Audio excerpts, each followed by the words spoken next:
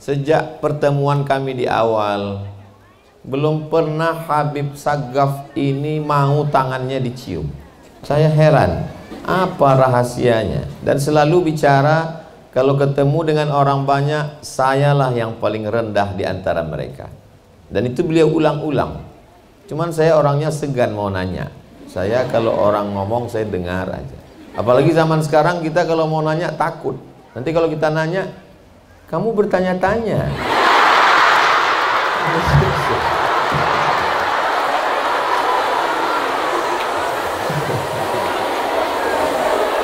Jadi saya nggak nanya, saya diam. Saya menunggu Allah bukakan. Ini sampai masanya nanti pasti Allah kasih tahu. Ini rahasia Habib Sagaf ini di mana? Tanpa saya minta, Habib Sagaf menunjukkan saya dibawa ke istana yang sangat megah. Saya dibawa masuk ke kamar. Saya dipertemukan dengan Syarifah Ubabah Khadijah. Ternyata inilah orang yang mendidik beliau.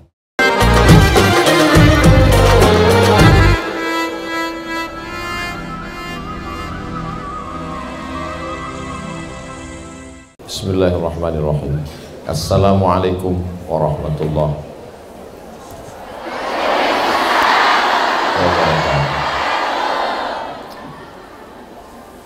Alhamdulillah wassalatu wassalamu ala rasulillah sayyidina wa maulana wa syafi'ina wa zuhrina wa qurrati a'yunina Muhammad wa ala alihi wa sahbihi wa man da'a bi da'watihi wa istanna bi sunnatihi ila yaumi liqa'i rabbih wa ba'du Sayyidi Al-Habib Hasan Baharun wa usulihi wa furu'ihi wa jami'i ahli bait Nabi SAW at-tahirin at-tayyibin wa ala hadhihi niyyah wa kulli niyatin salihah al-fatihah أعوذ بالله من الشيطان الرجيم. بسم الله الرحمن الرحيم.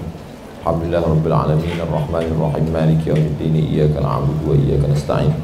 إن الصراط المستقيم. صراط الذين أنعمت عليهم والمغضوب عليهم ولا الضالين. آمين. الحبابة خديجة حفظها الله. سيدي الحبيب سقاف.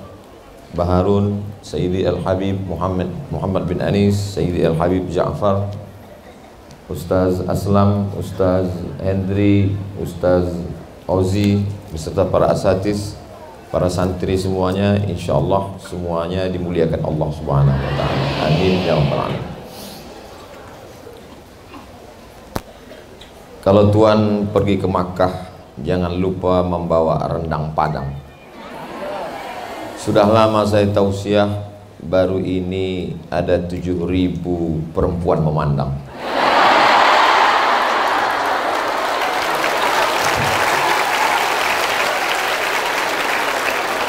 ini bukan bukan bahasa basi mohon maaf Habib Samih ini bukan bahasa basi memang 7000 orang kali dua berarti 14 bola mata. Ini memang baru kali ini inilah rasanya perempuan yang paling banyak untungnya ditemani oleh Habib Muhammad bin Anis Habib Ja'far dan para habaib apa kira-kira rahasia mengapa Allah Subhanahu wa taala memberikan amanah 7000 perempuan untuk dijaga oleh keluarga besar Sayyidi Al-Habib Hasan Baharu. Lama saya pikir. Jadi kalau adik-adik melihat tadi lama saya termenung, itu salah satu yang saya pikirkan. Apa rahasianya? Allah Ta'ala memberikan amanah besar ini ternyata kalau kita telusuri dulu Sayyidil Habib Hasan Baharun kalau beliau tausiah dia membawa kain panjang kalau di tempat itu tidak ada satir penutup maka dia akan membuat penutup untuk memisahkan jamaah dari laki-laki dan perempuan. Sekarang banyak orang tidak peduli itu. Mau laki-laki mau perempuan mau campur. Karena majelis itu adalah majelis ilmu majelis barakah majelis yang akan diperlihatkan kepada Allah dan akan dibanggakan oleh Allah kepada para malaikat. Nazalat alaihimus sakinah ghasyiyat bihimur rahmah haffat bihimul malaikah wa dzakarahumullahu fiman indah Bagaimana mungkin majlis itu akan turun rahmat dikelilingi malaikat dibanggakan kalau menyatu ikhtilat laki-laki dan perempuan. Maka Sayyidil Habib membawa kain panjangnya lalu dia pisahkan laki-laki dan perempuan. Ketika satu sunnah itu dihidupkan, maka hari ini Allah ingin menunjukkan, Hai Abdul Somad, kalau kau jaga amanah ini, maka sebagaimana aku dulu melihat hambaku ini menjaga amanah, inilah bukti yang ditunjukkan Allah. Tujuh ribu santri berada hari ini bukti dari ketulusan keluarga besar ini. Mudah-mudahan Allah menjaga memelihara. Hari ini orang selalu berpikir tidak lagi percaya kepada balasan Allah, tidak lagi ada keyakinan tentang yang gaib. Maka apa yang kita bahas hari ini menguatkan hati saya pribadi bil khusus yang menyampaikan dan yang mendengar. Walaupun nampaknya saya saya tidak sedang menceramahi para habaib. Saya memuliakan para habaib. Habaib adalah guru-guru saya. Saya ingin dapat syafaat dari mereka ketika nanti menghadap Allah, menghadap Rasulullah. Saya juga tidak menceramahi adik-adik karena sudah penuh dengan bekal ilmu. Saya hanya ingin mencari-cari apa rahasia-rahasia yang tidak saya temukan kalau hanya saya melihat Habib Sagaf Baharun hanya sekedar bertemu bertatap muka di kediaman Habib Eh, novel di Solo, kami ketemu di Bekasi, tapi setelah datang kemari, maka ini adalah pelajaran yang ingin saya ambil. Bukan saya menggurui, tapi man salaka tariqan yaltamisu fihi ilman sahhalallahu lahu bihi tariqan ilal jannah. Yang saya dapatkan ini bukan dari kitab, yang saya temukan ini bukan dari talakti kepada guru, tapi pelajaran dari hidup yang tidak terbatas oleh ruang kelas, batas waktu. Allah Subhanahu wa taala menunjukkan itu semua. Dan mudah-mudahan apa yang kita kaji malam ini didengar oleh saudara-saudara kita karena mereka juga menonton uh, channel Ustaz uh, Taklim Ustaz Segap Baharun. Taklim Ustaz Segap Baharun, subscribe, like, share and comment.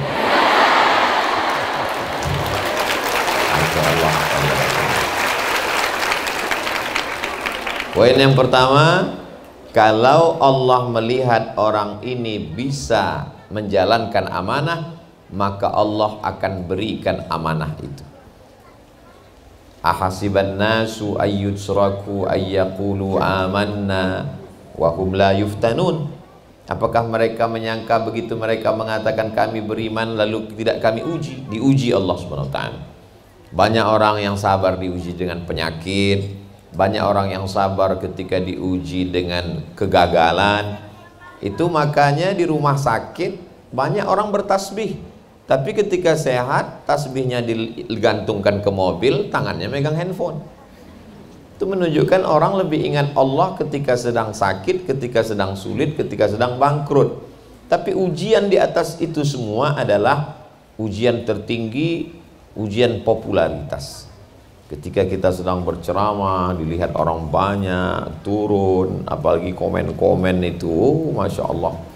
Banyak yang menduga saya tidak baca komen karena saya tidak pernah komen. Saya baca itu komen. Saya nggak komen karena saya nggak tahu passwordnya. Passwordnya dipegang oleh admin. Nggak, saya nggak tahu kalau admin ini membalas mengatasnamakan Ustaz Abdul Somad. Jadi ketika mereka mengatakan nggak usah dikomen, Ustaz nggak baca, saya baca. Sesungguhnya Allah SWT sedang menguji. Apalagi komen-komennya itu Mohon maaf Habib kalau keceplosan luar biasa. Komennya itu kadang Yang di luar nalar manusia. Apalagi kalau dia masuk ke DM Maka saya usahakan Halakam ru'un lam ya'rib qadrahu. Orang celaka, orang yang tidak tahu hakikat dirinya. Kalau kita sadar kita akan jahat dengan medsos ini maka kita serahkan passwordnya ke admin maka kita tinggal minta. Nanti selesai acara minta fotonya pilih mana yang tepat admin yang mengupload lalu kemudian kita tinggal lihat berapa like-nya berapa dislike-nya. Tapi like yang paling terpenting adalah like dari Allah subhanahu wa ta'ala. Mudah-mudahan pertemuan kita ini di like oleh para malaikat. Karena kalau cerita masalah like manusia, berapa banyak peminum khamar, mohon maaf pezina, pemabuk di like oleh manusia. Kalau buat katakan yang nonton tausiah, eh, viewer, follower banyak, viewer pelaku maksiat lebih banyak. Kalau dikatakan tablik akbar di tanah lapang ribuan, yang tidak hadir puluhan ribu lagi. Maka sesungguhnya beban ke depan adalah jaga amanah yang diberikan Allah ini maka ke depan Allah akan berikan yang lebih besar. Contoh real nyatanya seperti yang terjadi di Darul Lughah wa Da'wah. Mudah-mudahan semua yang menyaksikan mengambil pelajaran ini poin yang pertama. Poin yang kedua sejak pertemuan kami di awal belum pernah Habib Sagaf ini mau tangannya dicium Saya heran. Apa rahasianya? Dan selalu bicara kalau ketemu dengan orang banyak sayalah yang paling rendah di antara mereka. Dan itu beliau ulang-ulang. Cuman saya orangnya segan mau nanya. Saya kalau orang ngomong saya dengar aja. Apalagi zaman sekarang kita kalau mau nanya takut. Nanti kalau kita nanya kamu bertanya-tanya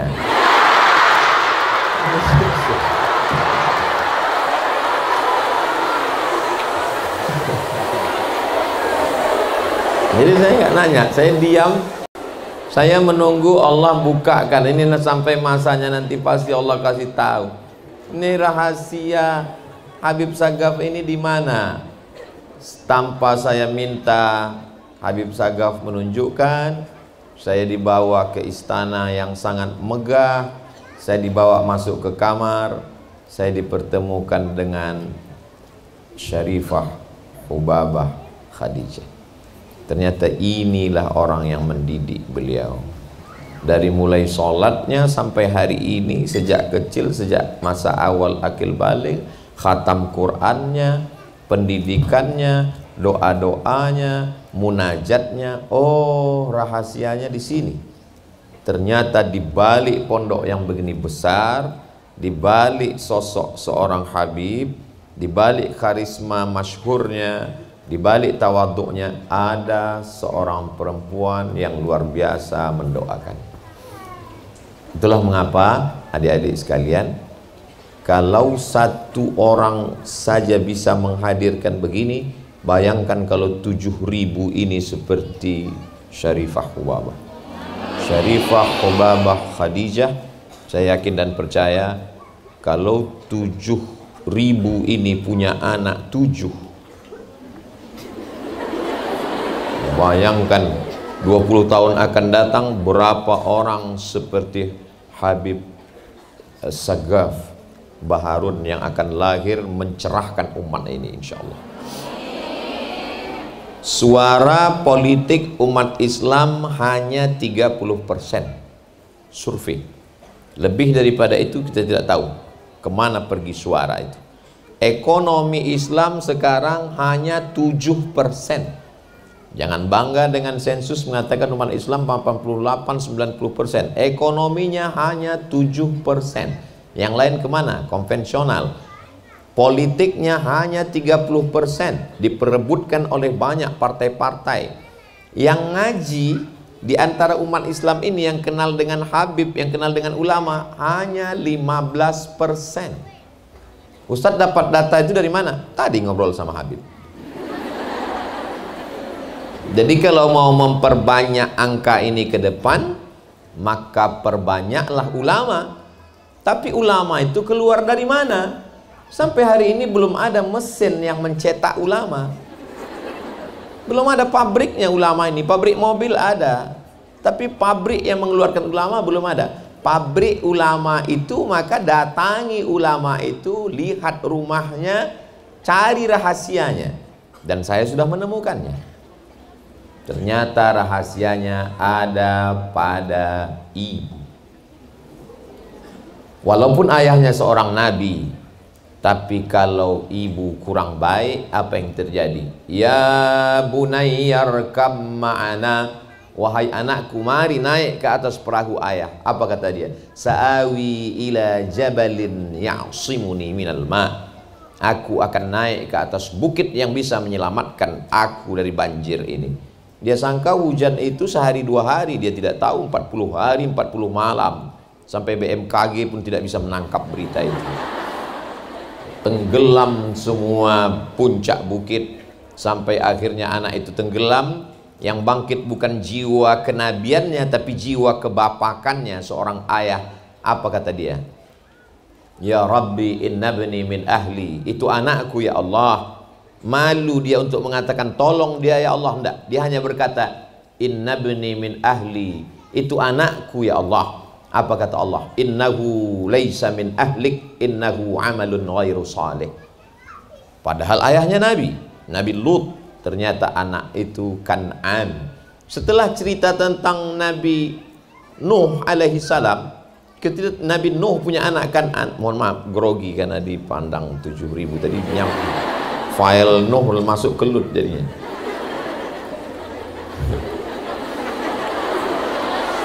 Nanti sebelum diupload diedit dulu. Takutnya nanti ada komen di bawah grogi nih.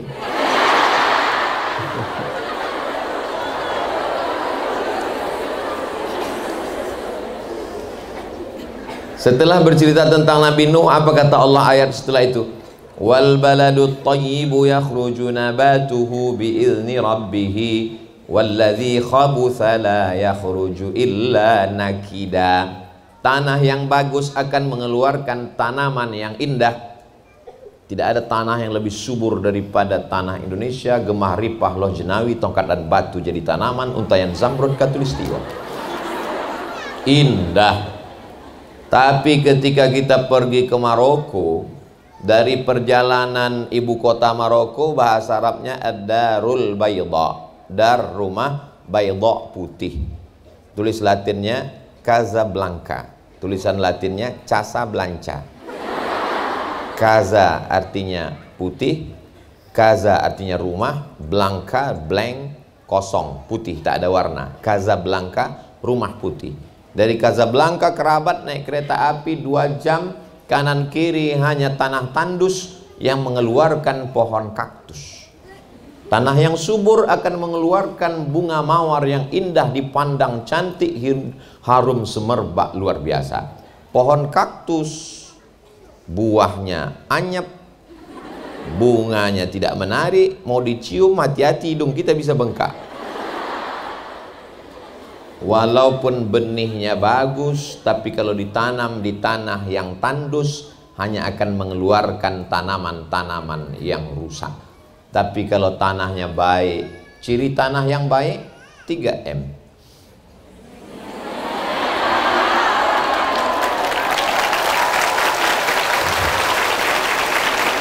Masya Allah tabarakallah. Begitulah Allah subhanahu wa ta'ala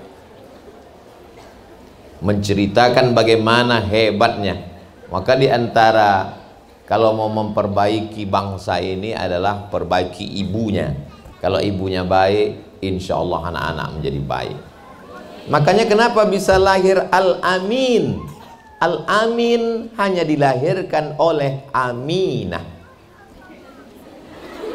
Hanya Aminah lah yang melahirkan Al-Amin jadi kalau ada hari ini anak-anak yang tidak baik lalu kemudian bapaknya mengatakan, "Kenapa anak kita tidak ami al-amin? Karena kau bukan aminah." Alhamdulillah semoga tujuh ribu hamba-hamba Allah yang solihah ini aminah semua. Dari mana Ustaz tahu mereka aminah? Tidak ada yang tampak dari tubuhnya kecuali hanya bola matanya. Yang lainnya dijaganya dipeliharanya dari ujung rambutnya sampai ke ujung kakinya adalah amanah dari Allah. Dia yang menjaga amanah itu adalah aminah. Maka hari ini kita pergi ke pasar. Orang kalau lihat buah-buahan di pinggir pasar terbuka kena debu kena panas dia tidak mau beli. Dia pergi ke mall dia cari buah-buahan yang ada dalam plastik plastiknya di dalam etalase kaca kacanya di dalam toko tokonya dikunci di dalam mall mallnya dikunci di dalam kota kotanya diawasi oleh polisi dan tentara. Dia mau buah-buahan yang terjaga dan terpelihara tapi ketika manusia dia mau yang terbuka logika berpikirnya bagaimana? Maka ketika ada seorang perempuan sarjanawan sarjana dari Yaman sedang presentasi ke Amerika lalu kata orang Amerika melihat dia menutup tubuhnya kata mereka ini manusia primitif yang datang tidak tersentuh peradaban. Dengan tersenyum dia bertanya lalu yang kamu maksud peradaban itu apa? Peradaban adalah yang terbuka lalu perempuan cerdas ini menunjukkan gambar monyet. Kalau begitu kalian kalah peradaban dengan ini karena dia terbuka semuanya. Kecerdasan seorang perempuan dikirimkan sebagai ilham dari Allah Subhanahu wa taala. Perempuan yang solihah ini tidak mengeluarkan sampai-sampai apa kata Nabi sallallahu alaihi wasallam dibacakannya ayat ayat Al-Qur'an Nabi bacakan la takhda'na bil qaul bukan hanya sekedar rambutnya, kakinya, bajunya, pakaiannya la takhda'na bil qaul jangan bersuara dengan suara-suara Makanya sebagian ulama mengatakan sautul mar'ati auratun. Suara perempuan adalah aurat. Gara-gara itulah banyak jamaah kalau bertanya tidak lagi mau bersuara dan menulis. Padahal ulama membahas sebegitu detail. Kalaulah suara perempuan itu aurat, bagaimana Sayyidatuna Aisyah Ummul Mukminin mengajar? Tak mungkin ketika ditanya, Wahai umul mukminin, bagaimana hukumnya ketika perempuan rambutnya sedang dikepang ingin mandi, apakah mesti dibuka semua? Tak mungkin dia menjawab dengan logika akal dia menjawab. Lalu bagaimana korelasinya dengan ayat lah takhda'na bil qaul? Tidak boleh bersuara. Kenapa tidak boleh? Lanjutkan ayat itu. Yatma'alladzi fi qalbihi marad tidak boleh bersuara sebab ada laki-laki yang dalam hatinya penyakit. Kalau dia dengar suara itu dia langsung hang dan error. Jadi yang dimaksud suara di situ adalah suara yang mendayu-dayu lemah gemulai. Makanya mana tahu ada orang salah sambung suara masuk. Memang mesti dijawab apa adanya dan kalau perlu tegas. Assalamualaikum. Waalaikumsalam. Ini di mana? Dalwa. Sekarang kadang kalau telepon itu kan suaranya seperti di airport, di mall. Kenapa mesti suara itu? Bos, bos, bos, bos, bos. akan berangkat pada. Kenapa mesti dibuat-buat begitu? Kenapa tidak bersuara sebagaimana apa adanya saja? Orang barat begitu marah melihat eksploitasi alam. Mereka mengatakan tidak boleh eksploitasi binatang. Bahkan ada khusus yang membela hewan-hewan, membela tanam-tanaman, namanya green peace, green hijau, peace damai, hijau yang penuh dengan kedamaian. Tidak boleh membunuh binatang, tidak boleh memotong pohon kayu, tapi mereka mengeksploitasi perempuan. Kalau ada iklan kulkas, ada perempuannya, masih logis karena perempuan dengan kulkas tidak begitu jauh. Tapi perempuan dengan iklan minyak pesawat apa hubungannya? Ketika perempuan hanya dijadikan sebagai pemegang payung untuk lomba motor gede. Perempuan yang megang payung. Dan ketika Malaysia menjadi tuan rumah, Masya Allah, Tabarakallah. Negeri Muslim yang memuliakan Islam sebagai dasar berkebangsaan. Boleh menjadi tuan rumah tapi nanti kalau menang tidak boleh menyemprotkan khamar. Di mana-mana di tempat yang tidak menghormati ajaran Islam, kalau menang khamar disemprotkan. Ternyata ketika disemprotkan minuman bersoda tetap berbuih. Lalu kemudian perempuan yang memegang itu pakai baju kurung, baju Melayu. Disebut baju kurung, baju Melayu. Kenapa kurung? Karena tubuhnya terkurung. Tidak kelihatan lekuk tubuhnya. Baju kurung itu panjang saja. Dan pakai kerudung menutup aurat. Dan ternyata terjadi. Terwujud. Tanpa harus mengeksploitasi perempuan. Perempuan dalam Islam bukan tidak boleh beraktivitas tapi ini ayatnya jelas Ustaz. Waqarna fi buyutikunna. Menetaplah kamu ke rumah. Betul. Tapi Al-Quran itu tidak boleh difahami tanpa melihat konteks pada kehidupan Nabi Muhammad SAW suatu ketiga Nabi melihat Asma binti Abi Bakar membawa makanan onta di atas kepalanya. Nabi membantunya mengangkatkan dan membawanya pulang. Nabi tidak ada marah. Seandainya Nabi marah, ya Asma, jangan lakukan ini. Berarti hadis qawli. Tapi Nabi membawa pulang menunjukkan hadis takriri. Kita tahu ada hadis fi'li, ada hadis qawli, ada hadis takriri. Persetujuan Nabi terhadap perbuatan Asma menunjukkan perempuan boleh beraktivitas. Itu dasar pengambilannya kata Syekh Atiyah Saqar dalam kitab Fatwa Al-Azhar, kumpulan fatwa-fatwa Al-Azhar. Pada masa pemerintahan Sayyidina Umar ibn al-Khattab, Amirul Mukminin, maka perempuan ada namanya polisi disebut wilayah hisbah yang sekarang mungkin kita mengenalnya istilah Satpol PP untuk menjaga pasar kota Madinah dan yang menjadi ketua wilayah hisbah saat itu adalah Ummu Syifa Ummu Syifa adalah perempuan. Belum ada sampai hari ini dalam sejarah Ummu Syifa laki-laki.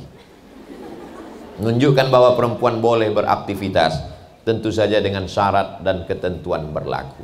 Paling tidak ada lima syarat. Yang pertama, ada izin dari suaminya. Saya yakin dan percaya adik-adik nanti akan menjadi anggota DPR RI akan menjadi polisi, akan menjadi tentara, akan menjadi rektor, akan menjadi dokter spesialis, akan menjadi mujahidah fisabilillah. Tapi dia pasti akan izin suaminya dan dia tidak akan marah, tidak memaksa dan tidak menuntut karena dia adalah alumni M3. 3M. Lalu kemudian dia tidak berdua-duaan dengan laki-laki yang tidak mahram. La yakhluwanna rajulun ma'amra'atin illa ma'azi mahramin. Tak boleh berdua-duaan dengan laki-laki yang tidak mahram.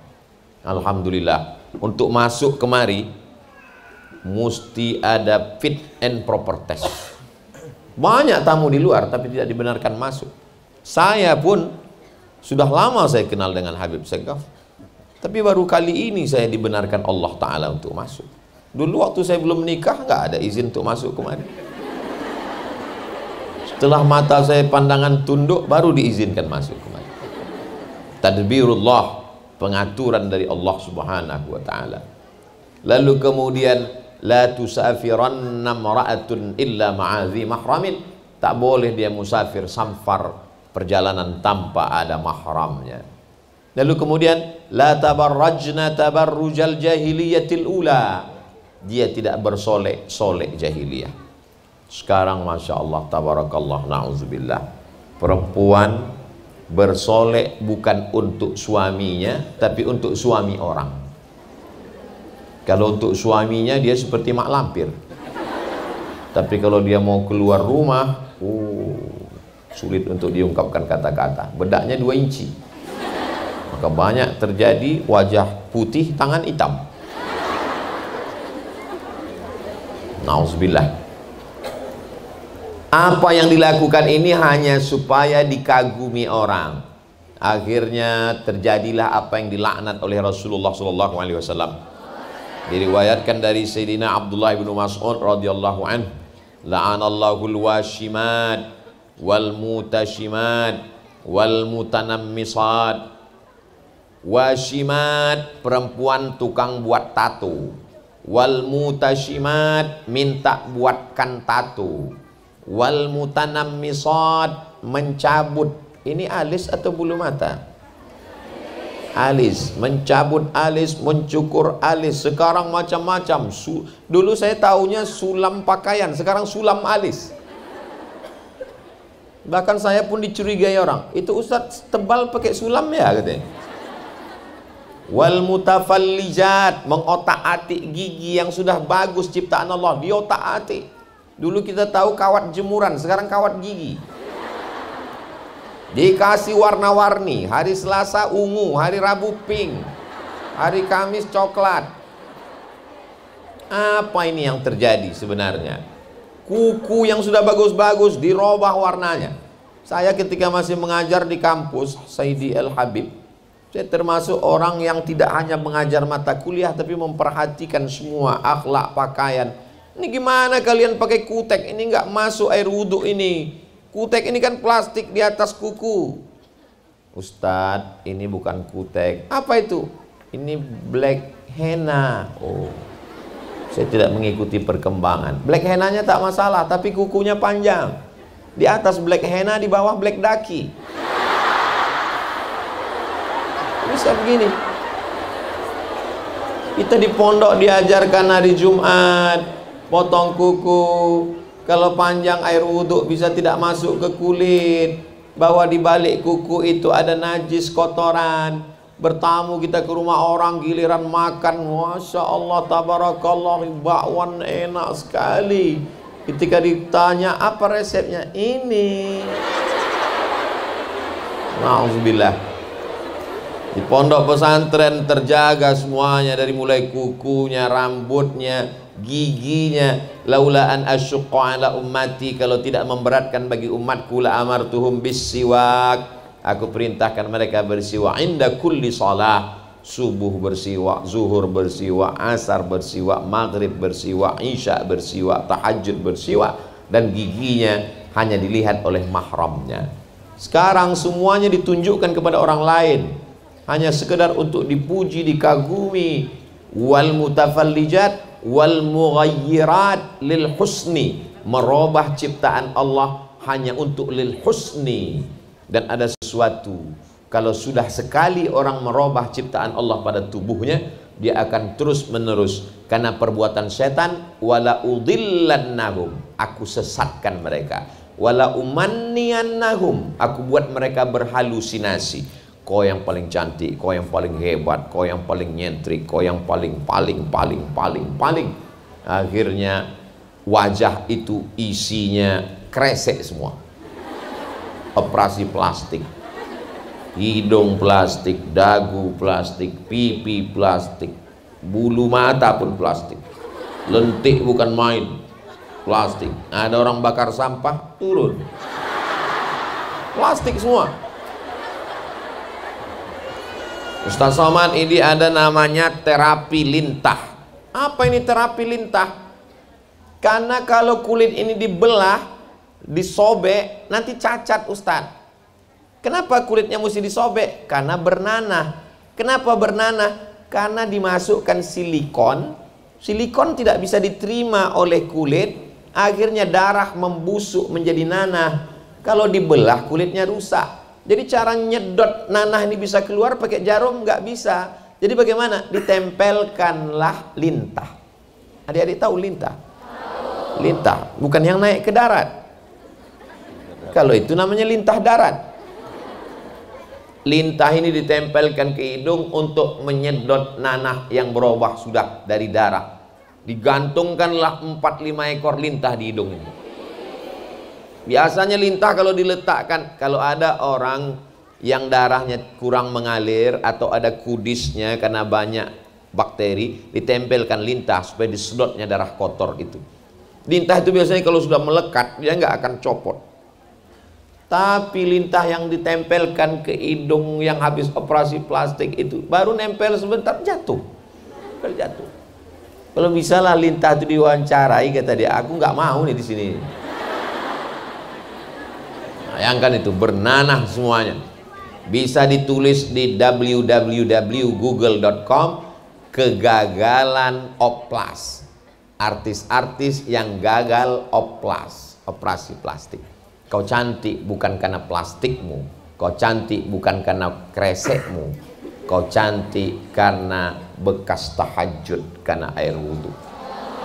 Tapi jangan terlalu terlalu pede. Mana tahu nanti adik-adik lagi ngumpul sama teman-teman semua ada yang nanya. Pas reuni akbar sudah 10 tahun berlalu tamat dari Darul Lughah wa Da'wah. Loh, kamu gak tua-tua ya? Ini bekas wudhu. Jadi kau sangka kami ini tayamum semua. Itulah Allah Subhanahu wa taala kalau memberikan. Setan mempermainkan halusinasi manusia merasa dia lebih hebat lebih sempurna. La atiyannahum min baini aidihim wa min khalfihim wa an aimanihim wa an syama'ilihim. Dia akan selalu berbisik operasi lagi terus lagi obah lagi lagi terus sampai akhirnya hancur itu kepribadian. Batinnya hancur zahirnya rusak durhaka kepada Allah dan dia tidak akan menjadi apa-apa. Hari ini perempuan yang tidak terdidik dengan baik akan melahirkan anak keturunan. Bak kata pepatah orang Melayu. Guru kencing berdiri, anak kencing berlari. Bagaimana gurunya? Guru yang pertama al-um al-madrasatul ula. Habib Segaf hatam Quran pertama kali dengan um Salat pertama kali dengan um Ibu. Makanya kalau kita tanya orang-orang sukses dalam amal ibadah itu peran ibu luar biasa. Datanglah seorang anak dibawa oleh bapaknya. Bapaknya minta anak ini dihukum. Ya Amiral Mukminin, Umar ibn al-Khattab, tolong hukum anak saya karena dia anak durhaka. Umar bin Khattab dengan penuh kebijaksanaannya bertanya, "Hai anak, ada yang mau disampaikan?" Anak ini bertanya. "Kami sebagai anak ini punya hak tidak?" Amirul Mukminin. Kata Umar, "Iya, kamu sebagai anak ada hak." "Apa hak kami sebagai anak?" Kata Umar bin Khattab, "Hak kamu tiga. Yang pertama, kamu punya hak untuk punya ibu yang baik. Yang kedua, punya hak untuk nama yang baik. Yang ketiga, punya hak untuk makan yang baik. Kata si anak ini, aku tidak dapat tiga-tiganya. Ibuku bukan perempuan yang baik. Dan nama aku tidak baik. Anak itu dikasih nama Kumbang. Kumbang yang masuk merusak pohon kayu. Suaranya. Dan aku tidak diberikan makanan yang baik. Apa kata Sayyidina Umar ibn Khattab kepada si bapak? Laqad aqaqtahu qabla an ya'uqqa alaih Kau sudah lebih dulu durhaka kepada anakmu sebelum anakmu durhaka kepadamu.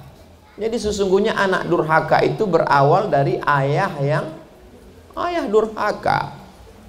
Ini saya khawatir kalau ceramah ini didengar sama anak-anak kreatif yang suka buat sablon baju kaos, buat di belakangnya. Anak durhaka karena jawaban ada di depan. Bapak durhaka karena tidak memilihkan ibu yang baik. Dia sudah mencari ibu yang baik. Dia tidak tahu ibu yang baik itu adalah ibu alumni 3M yang baik. WWSD CPR Hah? WWSD CPR WWSD CPR ini memang iklan ini dia setiap 15 menit sekali mesti diulang Nampaknya apa yang saya sampaikan ini orang boleh menanggapinya. Ini Ustaz Somad serius atau tidak? Nanti sampai masanya ketika dia punya anak, anaknya manjat-manjat dinding, mencakar-cakar, baru dia sadar betul yang Ustaz katakan dulu. Dulu waktu aku kasih tahu ente sangka aku bercanda. Sekarang baru ente rasakan betul Ustaz Somad. Anak saya ini cakar-cakar, muka saya pun dicakarnya. Kenapa? Karena waktu hamil dulu ibunya dipilihkannya menyanyikan kucing garong. Garong itu kan perampok. Kucing yang merampok.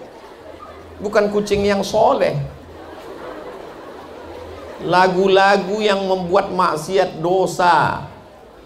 Coba kalau ibunya dari pondok pesantren Darul Lughah wa Da'wah maka akan dibacakannya syair-syair dari matan-matan uh, tajwid sifza sana kam jada saksun sama bin tayyiban zikfitu qadda zaliman kalamuna labzun mufidun kastaqim ismun wa fi'lun summa harfunil kalim semarah-marahnya dia paling-paling dia akan bacakan tasrif doroba doroba dorobu doroba doroba doroba doroba doroba doroba doroba nah marah-marah itu udah marah betul itu udah dorobanya sampai 14 kali udah enggak juga berhenti pakainya fi'il mudhari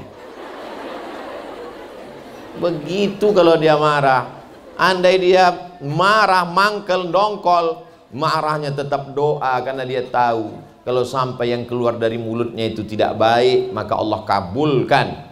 Ya Juraij. Anak ini diam. Dipanggil lagi sama Nabi. Ya Juraij. Dipanggil oleh ibunya. Wahai Juraij.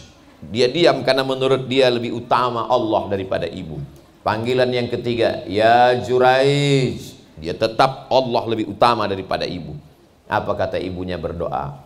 Allahumma la tumitshu hatta turihi wujuhal mumisad. Jangan kau matikan Juraij sebelum matanya melihat wanita tunasusila. Padahal Juraij ahli ibadah, dia tinggal di Som'ah. Orang yang ahli ibadah tinggal di Som'ah tidak akan mungkin bertemu dengan wanita nakal. Karena makanannya diantar, pakaiannya diantar, dia hanya beribadah saja. Tidak mungkin menurut logika akal matanya akan melihat wanita Tunisia. Tapi karena doa ibu terkabul. Apa yang terjadi? Tak lama setelah itu tiba-tiba ada seorang perempuan pengembala kambing. Maaf beribu maaf, dia hamil. Ditangkap sama masyarakat. Siapa yang menghamilimu? Perempuan itu berkata, Juraij. Lalu orang kampung mendatangi Som'ah tempat ibadah Juraij.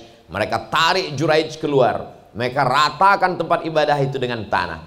Lalu kata mereka, kau memang jahat Juraij. Kau bertopeng sebagai ahli ibadah, ternyata kau berzina, mohon maaf, dengan perempuan ini. Mereka akan memenggal kepala Juraij. Kata Juraij, kalian boleh memotong kepalaku, tapi tunggu setelah anak ini lahir. Setelah anak itu lahir, lalu Juraij menusuk pusar anak itu dengan jari telunjuknya sambil bertanya, Man abuka? Who is your father?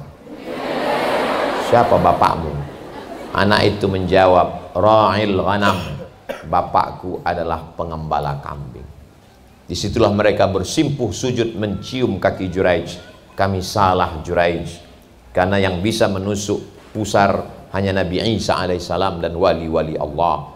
Ternyata wali Allah pun ketika durhaka akan gugur kewaliannya. Apalagi cuman wali murid. Allah Subhanahu wa taala seorang ibu walaupun salah ngomongnya tetap diaminkan para malaikat.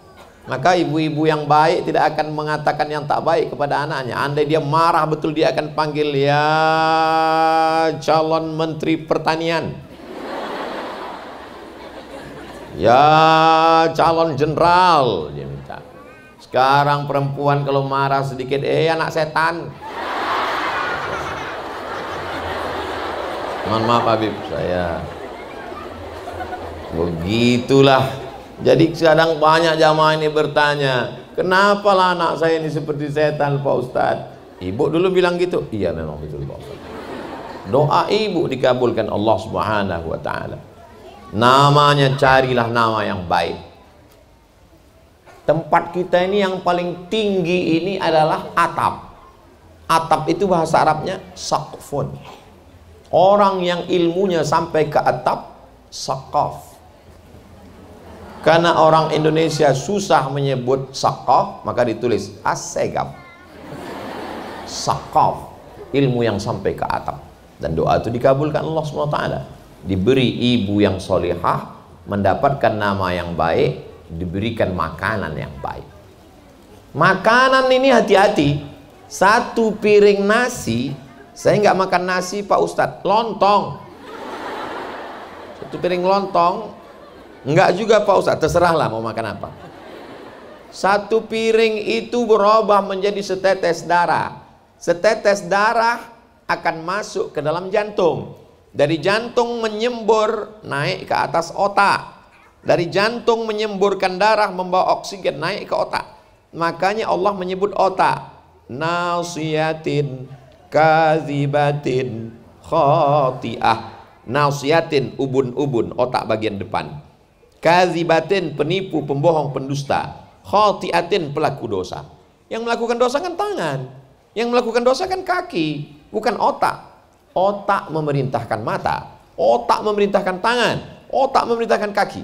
Jadi kalau ada tangan kaki mulut yang jahat nakal itu berasal dari otak dan otak berasal dari darah dari jantung dan jantung berasal dari makanan. Makanya kata Nabi dalam kitab Al-Mu'jam Al-Kabir karya Imam At-Tabrani, "Atib mat'amak takun mustajabat da'wah." Jaga makananmu, maka doamu akan dikabulkan Allah. Ibunya baik, namanya baik, makanannya baik. Inilah rahasia Ma'had Darul Lughah wa Da'wah. Ini yang akan kita jaga untuk generasi yang akan datang. Tadi saya mulai setengah delapan, sekarang jam setengah sembilan kurang sepuluh. Ustaz Abdul Somad itu di mana-mana 60 menit sesuai yang tertulis di Dalwa Water. Kemarin Ustadz tausiah botol minumannya mereknya dicopot. Nggak boleh ada. Tapi di Dalwa botolnya ada. Apa pun yang perlu kita lakukan zaman ini membangkitkan ekonomi umat. Selama ini Ustaz Somad tausiah 600 ml. Betul. Di Dalwa kenapa panjang? Anak buah naga.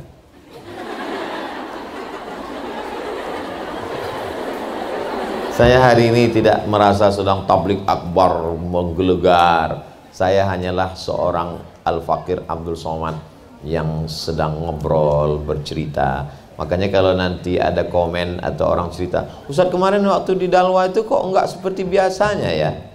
Yang pertama memang hari ini luar biasa berhadapan dengan pabrik-pabrik ulama masa depan. Dan memang hari ini luar biasa. Habib Sagaf, Habib Muhammad bin Anis, Habib Ja'far.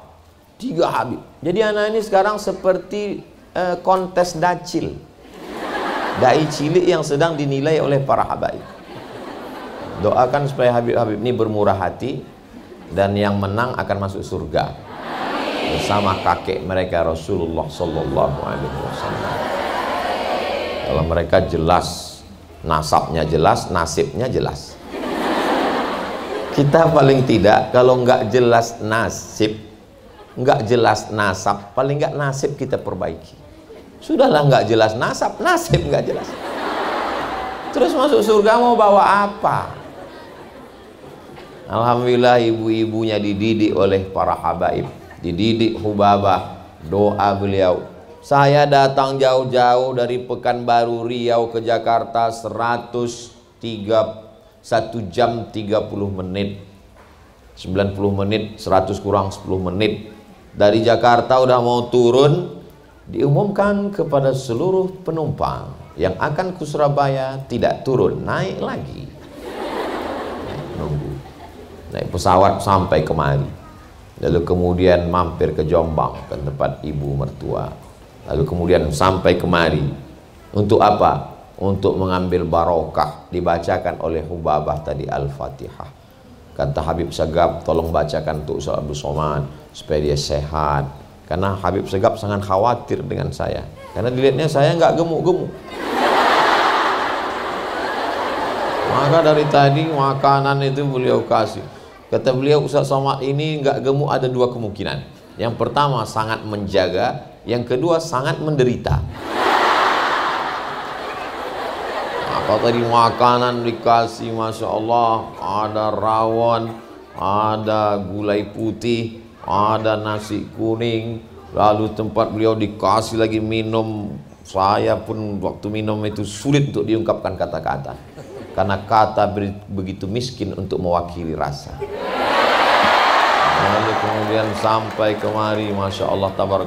Di tempat-tempat lain kadang kita tahu siap pengajian makanannya banyak cuman nggak dibuka. Dan nggak dipersilakan. Kita pun segan. Di tempat Habib dipersilakan diberi. Tadi berapa kali beliau nyuruh saya minum? Ustadz minum itu minuman khas Masya Allah. Dalam hati saya apakah santri begini juga? Rupanya betul kantinnya Masya Allah tabarakallah. Sehat-sehat semua. Apa kata Habib? Kita ingin menunjukkan pesantren tidak boleh dipandang sebelah mata. Pesantren bangunannya mesti bagus makanannya mesti sehat. Ustaz Somad tunggu dulu. Jangan tepuk tangan dulu. Tunggu tunggu. Tahan tahan tahan keluar tadi Ustaz Somad ini kampus laki-laki, ini kampus perempuan. Coba perhatikan di dinding-dindingnya. AC, masuk ke dalam, pintu gerbangnya. Tidak sembarangan orang mesti masuk. baru sampai kemari lantainya Masya Allah tabarakallah andai tidak hujan bagaimana bisa 7000 orang menampung jangan heran nanti kalau Ustaz Somad sampai di sana yang di depan tuh hanya sebagian sebagian lagi di atas atas sana atas atas di atas juga Masya Allah Walaupun nampaknya Ustaz Abdul Somad yang tampil di sini, kamera tertuju ke Ustaz Abdul Somad, yang di samping Habib Sagaf bin Hasan Baharun Ustaz Abdul Somad, tapi boleh jadi Ustaz Abdul Somad masuk surga karena doa mereka yang ada di sana. Begitu cara mendoakan mereka yang di tangga sana. Begitu cara membahagiakan, membesarkan hati mereka. Insyaallah tabarakallah. Saya sangat ingin punya anak perempuan. Anak saya pertama laki-laki Saya laki-laki. Adik saya laki-laki. Anak pertama laki-laki. Anak kedua laki-laki. Pernah diprank sama dokter Selamat Ustadz Anaknya perempuan saya siapkan nama dari Maroko. Orang Maroko kalau ketemu, "Kaifa haluk?" Labas alik. Jawabannya Mizian. Mizian artinya baik. Saya siapkanlah nama perempuan yang baik. Tak ada bandingannya. Miziana Bella Nazira. Siap ini nama. Begitu lahir laki-laki. Tanya dokter. Kata Pak dokter, kata ibu dokter, dokter untuk perempuan mesti perempuan. Mudah-mudahan adik-adik nanti jadi dokter spesialis kandungan. Supaya jamaah yang selalu nanya ke saya, bolehkah memeriksakan istri ke dokter laki-laki? Saya bilang boleh kalau pilihannya dua, mati. Makanya dokter perempuan mesti diperbanyak. Lahir laki-laki. Kata Bu Dokter kemarin perempuan. Anak Ustadz pandai menyembunyikan sesuatu. Situlah saya, saya paham. Makanya kalau saya ngasih nasihat tadi, itu sebenarnya saya sedang ngobrol-ngobrol dengan anak perempuan saya. Kata Ustaz anak perempuan, tapi tadi kok panggil adik? Tadi saya mau manggil anak atau adik, tapi mau manggil anak rasanya masih terlalu muda. Melihat perempuan mereka adalah adik kita, mereka adalah anak kita, mereka adalah ibu kita, mereka adalah saudari kita. Maka kita tidak akan menganiaya dan menyia-nyiakan mereka. Di balik Nabi Musa alaihissalam ada seorang perempuan yang luar biasa Yohanes namanya. Di balik Nabi Ibrahim alaihissalam ada seorang perempuan yang luar biasa Umailah namanya di balik Sayyidina Maulana Muhammad sallallahu alaihi wasallam ada perempuan yang luar biasa. Aminah namanya. Dan ada satu perempuan yang disebut setelah nama Nabi langsung nama dia. Isa ibnu Maryam. Maryam luar biasa. Jangankan laki-laki yang datang kepadanya. Malaikat yang datang kepada dia apa kata dia Inni a'udzu birrahmani in kunta taqiyya Aku berlindung kepada Allah wahai engkau anak muda. Jangan kau dekati aku. Arsalna ilaiha ruhana fatamassala laha basharan sawiya. Kami kirimkan malaikat Jibril dalam bentuk anak muda yang ganteng luar biasa. Apa jawab Maryam ketika itu inni a'udzu birrahmani in kunta taqiyya aku berlindung kepada Allah. Jangan sampai kau dekati aku. Allah jaga dia dengan penjagaan yang luar biasa. Sampai akhirnya ketika dia mengandung diuji Allah sesuai dengan sifat. Kalau sifatnya iffah menjaga diri diuji Allah dengan fitnah yang luar biasa. Maka dia tak tahan mendengar ucapan kata-kata yang luar biasa dari mereka di kota dia pun mengungsikan diri. Fa'aja'ahal makhadu sampai akhirnya dia melahirkan anak. Lahirlah seorang anak yang luar biasa bernama Isa ibnu Maryam. Di balik nabi-nabi yang hebat, di balik wali-wali Allah, di balik para habaib yang gagah perkasa, ada perempuan-perempuan yang luar biasa. begitu juga 20 tahun akan datang. Tahun 2032 2042 2052 akan lahir ulama-ulama pemimpin masa depan dari adik-adik yang luar biasa Itulah agaknya yang dapat disampaikan oleh Al-Fakir Abdul Somad. Terima kasih atas segala perhatian. Mohon maaf segala kekhilafan dan kesilapan. Aku qauli hadza astaghfirullah li walakum. Menangkap puyuh di Bukit Selasih. Thank you dan terima kasih. Assalamualaikum warahmatullahi wabarakatuh.